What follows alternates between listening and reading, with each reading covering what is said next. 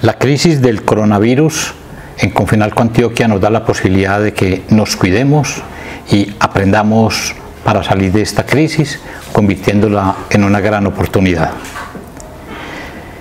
Un gran método, un gran medio, una gran oportunidad que vamos a tener ahora que estamos conviviendo más tiempo con nuestra familia es la de trabajar más la comunicación desde las características de la asertividad, la afectividad y la efectividad. La comunicación se convierte en el mejor medio para la relación entre los humanos. Y esa comunicación puede ser verbal o no verbal. El 7% corresponde a lo verbal y la palabra es exclusiva para los humanos. Pero el 93% constituye lo no verbal. Y en ese 93%, el 38% corresponde al tonito que le coloquemos a la palabra. No es tan problemático lo que nos decimos a veces lo que dificulta, la convivencia es el tonito con que nos decimos eso que nos decimos. 7% la palabra, 38% el tonito. Nos queda el 55% para descubrir lo que es el cuerpo en nuestra comunicación. Lo primero que hacemos los humanos es una comunicación visual, de aproximación o de alejamiento. Creamos entonces relaciones simpáticas y relaciones antipáticas. También dentro de esa comunicación corporal está la proximidad, el contacto, el tiempo que nos dediquemos, el tiempo que nos dediquemos.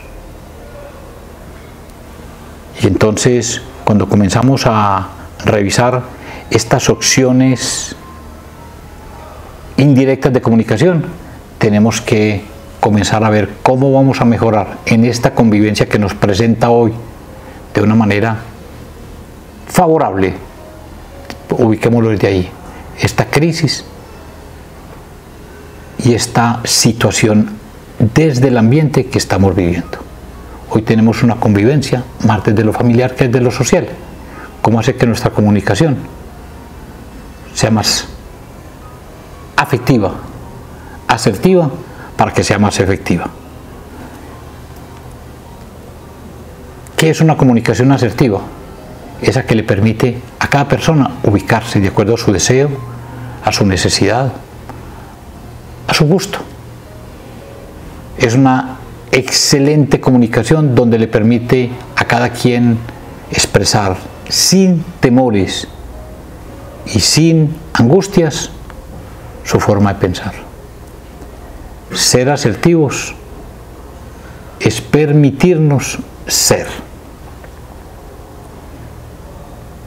Ahora, en la comunicación, recordemos que hay una persona que inicia la comunicación, que es el emisor, y otro que la recibe, que es el receptor. Y un comunicador asertivo desde la percepción tiene que actuar con unas características muy especiales. Tiene que ser respetuoso, tiene que ser honesto, tiene que ser directo pero recordemos que el tonito juega un papel muy importante. Siempre quien recibe, siempre quien recibe, o sea, el receptor, si es un buen perceptor, orientará por un camino adecuado para la convivencia saludable y gratificante, la comunicación. Porque el receptor perceptor tiene cuatro orejas para analizar el mensaje que le están enviando y se preguntará, ¿quién me habla? Y para él siempre será muy importante ese ser que se le comunica directamente. ¿Cómo me habla? O sea que revisará el tonito con que le está mandando ese mensaje. ¿Qué me dice objetivamente en el mensaje y qué espera de mí ese ser que me habla? Entonces un buen receptor perceptor está siempre atento a cuatro orejitas, cuatro orejitas. ¿Quién me habla? ¿Cómo me habla? ¿Qué me dice y qué espera de mí? No siempre uno tiene que estar de acuerdo con el, con el, con el que emite el concepto, pero entonces si no estamos de acuerdo, el no bien dicho y bien argumentado es el camino. ¿Cuáles son las características de una comunicación asertiva, de esa que expresa el pensamiento, el deseo, la necesidad en el momento que es y con la persona que es? Una, mantiene una comunicación segura y eficiente con el otro. Dos, Se expresa sin temores ni complejos. Tres, maneja una relación empática, se ponen mutuamente en la necesidad del otro. Saben calibrar las situaciones de las que se están hablando. Y la más importante, tienen una actitud de cuidar al otro. El otro no es enemigo, con el otro no se está compitiendo. Cuando yo cuido al otro es porque entiendo que ese otro también hace parte de mí. Sé decir las cosas sin dañarlo. El otro no es enemigo de la persona asertiva. Entonces, ¿cuáles serán las dificultades para ser asertivos? ¿Qué es lo que impide que nosotros seamos asertivos? Uno, los prejuicios. Lo que tenemos registrado en nuestras mentes y que en ocasiones hace mucho daño. Pero además de eso están los miedos. Miedo al que dirán, miedo al que ubicará el otro frente a mí si estamos en un ambiente laboral, por ejemplo, o las inseguridades personales. Esos tres enemigos de la asertividad habrá que trabajarlos para poder comenzar a ser seres más asertivos.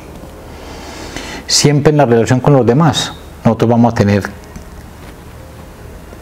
dos elementos importantísimos.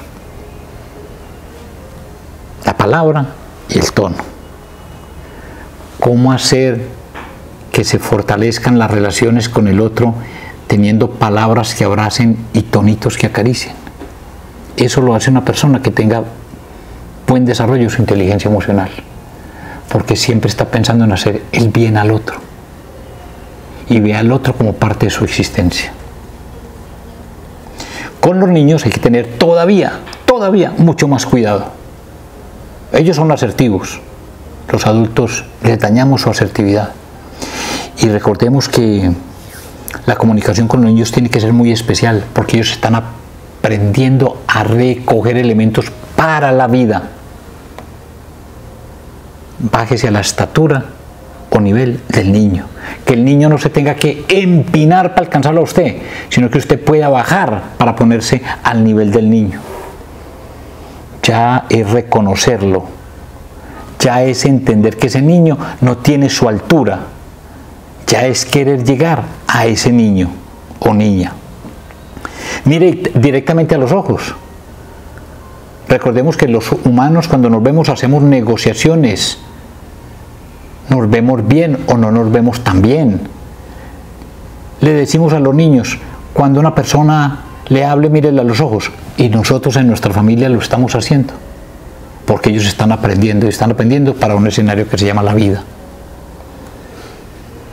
Dele toda la atención, demuéstrele todo el interés a ese niño o a esa niña con lo que ellos están diciendo. Para nosotros puede ser un mensaje supremamente sencillo, pero para ellos es trascendental démosle la trascendencia, ubiquémonos en su momento de vida, no que ellos se tengan que ubicar en el momento nuestro.